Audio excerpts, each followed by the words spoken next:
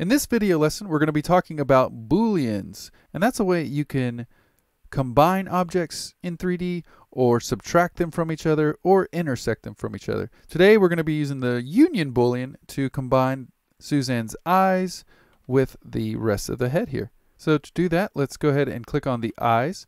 So it looks like the eyes are bulging out a little bit from the head here, right there. So let's go into edit mode and move those vertices make sure you have your eyes selected and let's go to tab to go into edit mode and let's go to vertices and if you zoom in here and pan over you can grab some of these points here. Just hit G and Y and let's just barely move that back just like that and take another one hit G and move it on the Y axis and we're just going to move that just ever so slightly backwards. Let's orbit around grab this one and hit G and Y and just move that back. Another one here is a little close, G and Y, and that will sink it in just a little bit.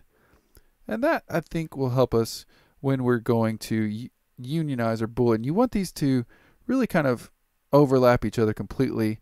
This one here is doing the same thing, so we'll just G and hit the Y, move it back, G and Y, move it back, G and Y. Just slide that back. Now everything is kind of hidden and looks pretty much the way it was originally designed. So just go ahead and do this to your model. Make sure there's nothing poking out from Suzanne's little eyeballs here. So now let's go back into object mode, click on Suzanne, and to add a Boolean, we're going to go into our modifiers tab, looks like a little wrench, click on add modifier, and under the generate column, we'll do Boolean, the third one down.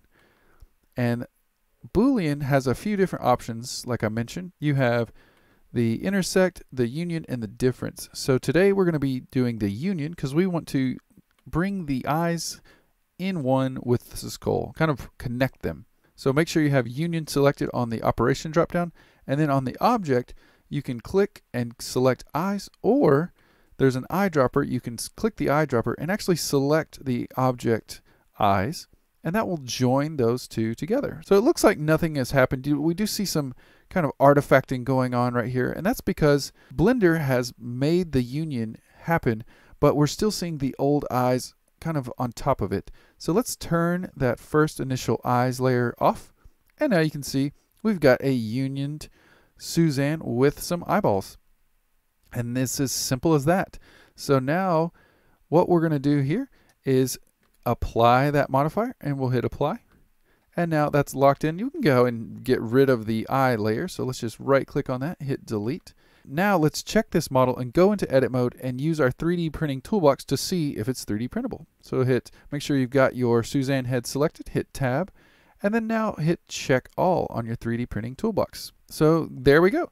And it is 3D printable. Notice there's zero non-manifold edges, so everything is completely watertight and sealed and it is 3D printable. So that's an easy and quick way to fix some models that you may find online or just to fix your models relatively quickly.